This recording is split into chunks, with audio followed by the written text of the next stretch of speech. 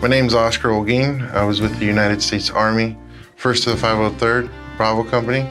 We deployed to Iraq three months into my first tour.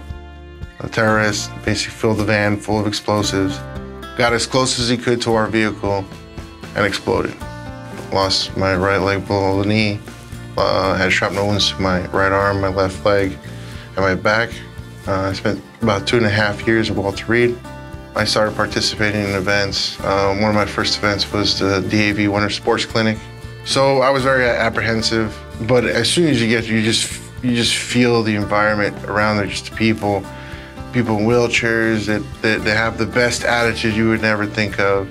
Amputees, you know, they've lost either both their legs or one of their legs and just have great attitudes.